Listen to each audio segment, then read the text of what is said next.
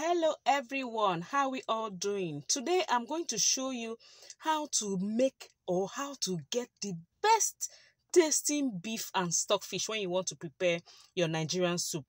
Of course, and this method is very fast. It's faster than normal. But if you have a pressure cooker, please do not use this method. Okay, so what is it? You just need your beef already washed, your stockfish, um, seasoning, pa- uh, salt, and onion. So you wash, you put in a clean, dry pot like this. I'm dropping the meat like this. Drop it like it's hot. Drop it like it's hot because I don't want water to go into it. That's why I'm dropping it like this. Uno by uno, one by one. Okay, then I put my rinsed, very properly rinsed stockfish. Look at that head. Look at how it's looking. The fish head is looking like it's angry. See now, see. Look at it. Like Nengi, waiting, waiting. Don't waste my time. okay, so I just added seasoning powder, some salt, and of course, my onion is coming. If you have pepper, you can add pepper if you like.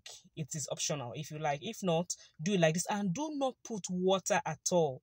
So, when, when I said if you're using a pressure pot, do not use this method, is because you need water for pressure pot.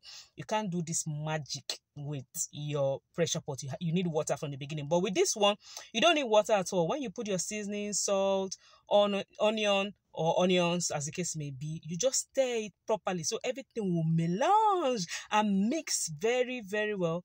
Then you cover your pot and cook. No water at all.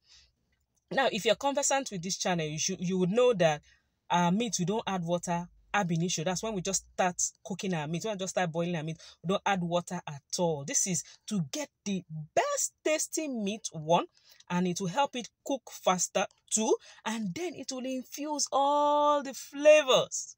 All the flavors. Yes that's the reason why we do this. So i'll cover and then but you have to be watching it from don't watch it be fast. Be checking. Look can you see? We didn't put water no water at all but see where did this water come from eh the beef is releasing all its juices all its liquids so this is the aim it will release everything. You just watch it closely. Can you see? It's boiling. We didn't put water. Where's the water? Where did the water come from? Okay, kitchen magic. okay, so we allow it like this. Release all the water, cook before we now add our own water. And when we add our own water, it has to be little by little. Now see, see the quantity of water we have when we've not added water at all. Isn't this magic? Isn't this magic? Ah, it's no magic. It's just cooking style, making it easy. So this method, just like I had told you, it makes your meat get soft very fast and it infuses the flavor more than when you just start cooking and you put water. That one is just like you're baptizing, you're, you're, you're watering the meat, putting it inside a river, a river of water. No. So now we'll come back and check it. Just be close to the meat.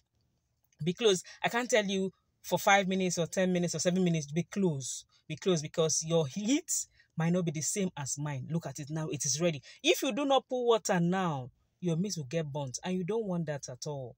So look at it, this is time for water. So you just bring water. Remember, another secret for this thing is when you bring your water, do not add too much at once. Little by little, little by little. There's a there's a proverb that says, petit à petit, l'oiseau fait son nid.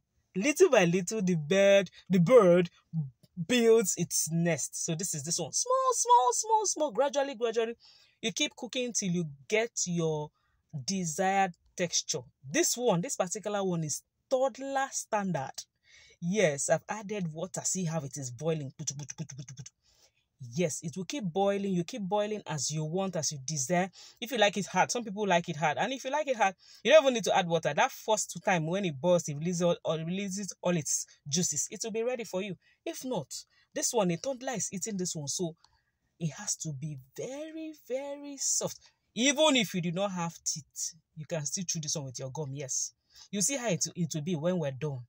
See the stock very rich Tell me, if you use this one to cook, why won't the food be sweet? If you use this stock, it will be sweet because it is rich, enhanced, creamy, yummy, delicious.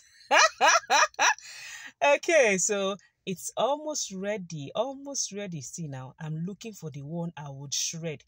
Very very very easy. With this one you don't need to if you're giving it to a child you don't need to even say you're cutting it. It will just jram jram jram it will just shred on its own. And it's, this one is very good for shredded beef sauce.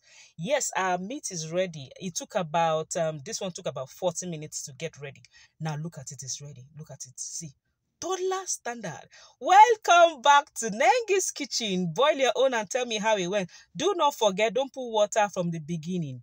So, I am going now. Oh yeah, now. Bye.